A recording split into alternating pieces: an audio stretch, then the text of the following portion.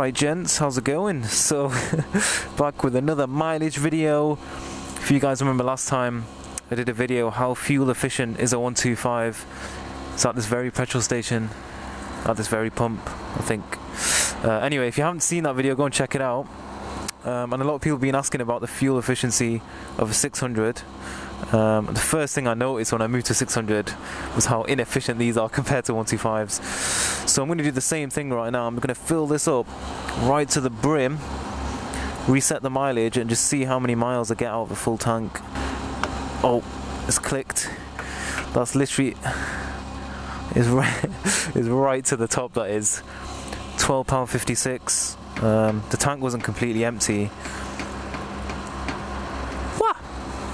The tank wasn't completely empty, so that's not how much it costs to fill up a full tank. That's just how much it's cost to top mine up to a full tank. Twelve pound fifty six. Ten point nine three liters.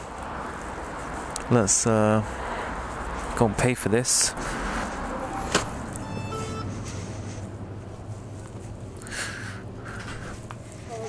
Hello, Sammy. Okay.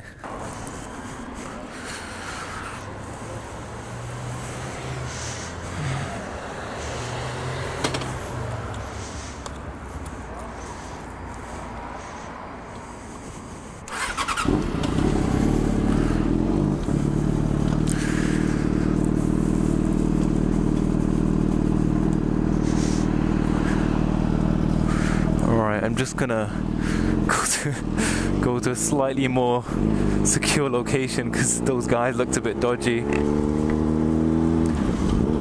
No offense to them or anything, it's just a lot of theft in this area, so I'm trying to prevent that.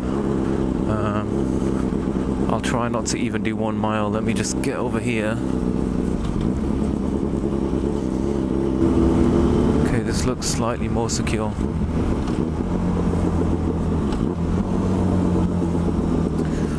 Let's figure this out. Okay, full tank is literally on top of the F. What we're gonna do, trip one, trip two. Okay, don't know what that is. All right, trip one, reset to zero. There we go. So zero miles, absolute full tank to the brim. Um, and then all we're going to do is uh, basically ride how I normally ride. I'm not going to ride super efficient or something for this test. And then um, what we'll do is we'll come back to me in about two weeks or a week or however long it's taken to me use this tank and uh, we'll see how many miles we got out of it. So uh, I'll see you then.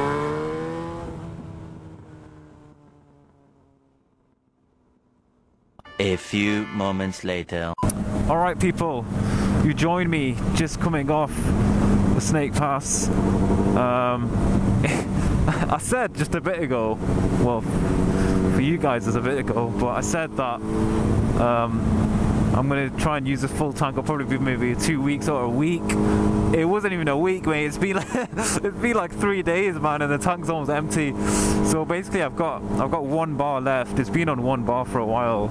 Um, I don't want to risk going all the way back to Manchester on this one bar, so I'm probably going to fill up now. Um, I'm pretty sure it's it's going to be running out soon, so it might not be an exact kind of demonstration of a full tank mileage, but it's going to be pretty close because it's been been on one bar for a while, man. It, it might even go after a bit.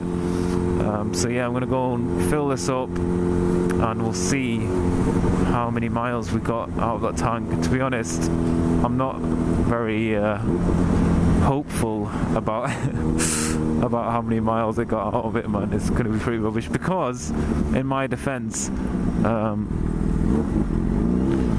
this is the like the third time I've come to Snake Pass like this week or something. So uh, obviously you're going to get much lower fuel consumption there. Okay, guys, there is. Whoa, what are these things, man? Boogies!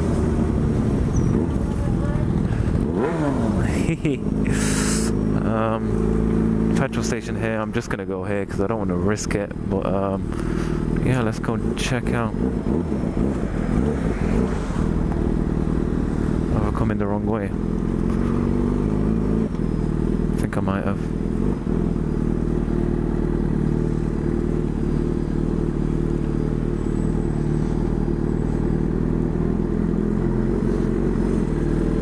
Right. Here's the moment of truth, guys. We got